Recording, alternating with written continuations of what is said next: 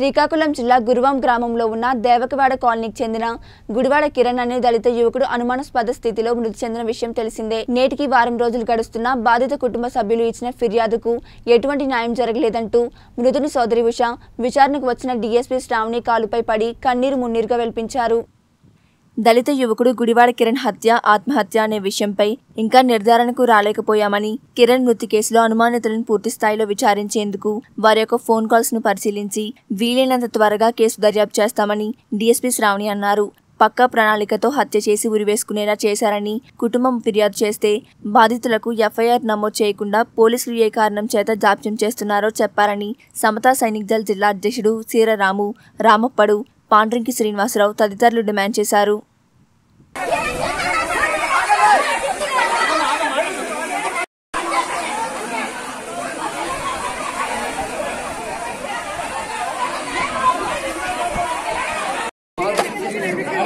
아, 그래, 그래, 그래.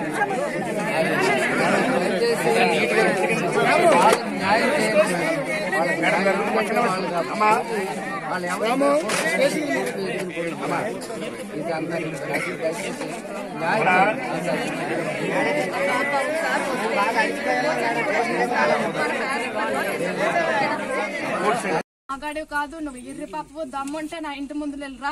చూసుకుందాము. నీ పెళ్ళి కూడా నీ చెల్లి పెళ్ళి కూడా నేను చూడనవును. నిన్ను ఈ నెల రోజులు ఏదో ఒక రోజు చంపించేస్తాను. అమ్మాయి చెప్పింది. తర్వాత భారతి వాళ్ళ అన్నయ్య మా ఇంటికి వచ్చి నేను మా అమ్మగారి ఇంట్లో ఉంటే హుషారా బయటకు అన్నారు. ఎందుకంటే ఏమైందంటే మీ అన్నయ్య కిరణ్ ఎక్కడ ఈ వీధిలో కనిపించినా ఎక్కడ కనిపించినా ఈ నెల రోజులు చంపడం మాత్రం ఖాయమని చెప్పాడు. కానీ నేను మా అమ్మకి మా అమ్మ నేను ఏమనుకున్నాం నా పెళ్ళి ఫిక్స్ అయింది కదమ్మా ఇక్కడ ఈ విషయం మా అన్నయ్యకి చెప్పొద్దు. ఎవరికి చెప్పొద్దు. మే నెలలో డేట్లు తీస్తామన్నారు. ఎలాగో జరిగిపోయింది. అన్నయ్యకి చెప్తే మళ్ళీ ఏమైపోతాడు అనేసి నేను ఎవరికి చెప్పలేదు. కానీ చంపేస్తాం అన్నోళ్ళు గురువారం నైట్ అంటే ఇరవై నాలుగు తేదీ అంటే ఇరవై ఐదు చనిపోయాడు మా అన్నయ్య. అంటే చనిపోయాడని తెలీదు. గురువారం నైట్ పదింటికి పడుకున్నాడు. నేను వెళ్ళి చూశాను. ఆ ఇంట్లో మైండ్ సెట్ ఎట్లుందమ్మా? అప్పుడు బాగానే ఉన్నాడు. భోజనం చేశాడు మేడం. నేను పెరుగన్నం పెట్టాను. ఉషా నాకు ఆకలి వేస్తుంది అంటే నేను పెరుగన్నం పెట్టాను. మా అమ్మాయిని ప్రేమించడం ఏంటి? అని కన్ను పోయినట్టుగా కనీసం తను మాట్లాడే సిచ్యువేషన్ లేకుండా చెదగొట్టేశారు మా అన్నయ్యని. అప్పుడు కూడా మా అన్నయ్య భయపడలేదు. లేదు. కొడుకు పోయాడు మేడం. ఇరవై నాలుగు సంవత్సరాలు చంపేశారు. ఆ వాళ్ళ అన్నయ్య చంపేశారు. వార్నింగ్ వచ్చినప్పుడే నేను చేయాల్సింది నా పిల్లల్ని ఆగిపోయాను చేశాడు? ఇప్పుడు మా అమ్మ నన్ను ఎవరు చూసుకుంటారు?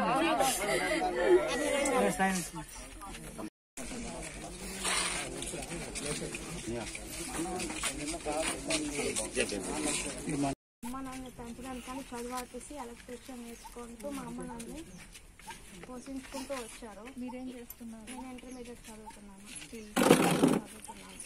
అయితే ఏమో ఈ అమ్మాయి భారతికి మా అన్నయ్యకి ఎప్పటి నుంచి ఉందో తెలియదు గత నెల ఇరవై ఒకటి తారీఖు నుంచి మా అన్నయ్య కనిపించలేదు.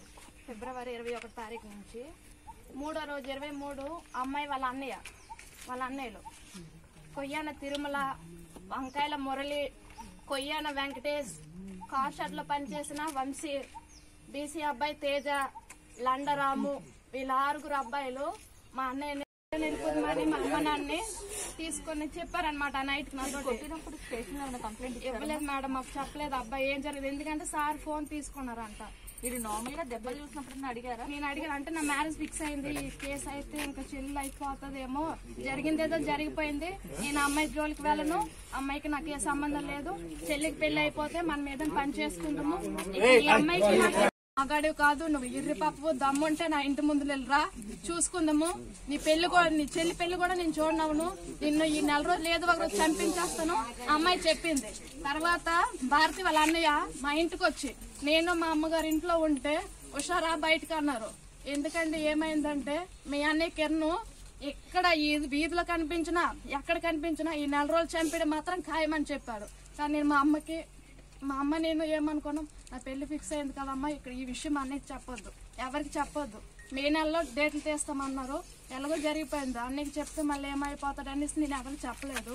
కానీ చంపేస్తాం అన్నోళ్ళు గురువారం నైట్ అంటే ఇరవై నాలుగు తేదీ అంటే ఇరవై ఐదు చనిపోయాడు మా అన్నయ్య. అంటే చనిపోయాడని తెలీదు. గురువారం నైట్ పదింటికి పడుకున్నాడు. నేను వెళ్ళి చూశాను. ఆ ఇంట్లో పడుకున్నాడు మైండ్ సెట్ ఎట్లుందమ్మా? అప్పుడు బాగానే ఉన్నాడు. భోజనం చేశాడు మేడం. నేను పెరుగన్నం పెట్టాను. ఉషా నాకు ఆకలి వస్తుంది అంటే నేను పెరుగన్నం పెట్టాను. మా అన్నయ్య నాకు లేడు. నేనే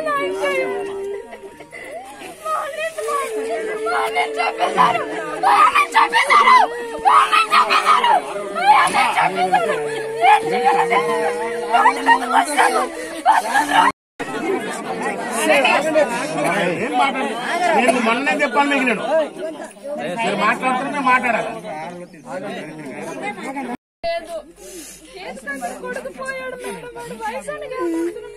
ఇరవై నాలుగు సంవత్సరాలు చంపేశారు ఆ భారతి వాళ్ళని నన్ను చంపేశారు వార్నింగ్ వచ్చినప్పుడే నేను చేయాల్సింది నా పిల్లల్ని ఆగిపోయాను నాకు ఏ దిక్కు లేకుండా చేశాడు ఇప్పుడు మా అమ్మ నన్ను ఎవరు చూసుకుంటారు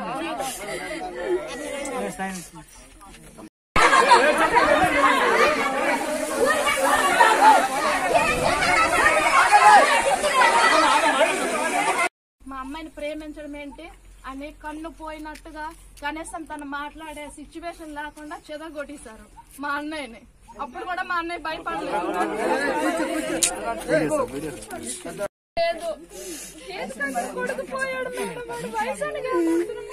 ఇరవై నాలుగు సంవత్సరాలు నేను చంపేశారు చంపేశారు వార్నింగ్ వచ్చినప్పుడే నేను చేయాల్సింది నా పిల్లల్ని ఆగిపోయాను. నాకు ఏ దిక్కు లేకుండా చేశాడు. ఇప్పుడు మా అమ్మ నన్ను ఎవరు చూసుకుంటారు? సార్ ద్వారా మీరు ఇంటర్గేషన్ చేస్తారా వాళ్ళు తెచ్చి కొట్టేస్తారా సార్?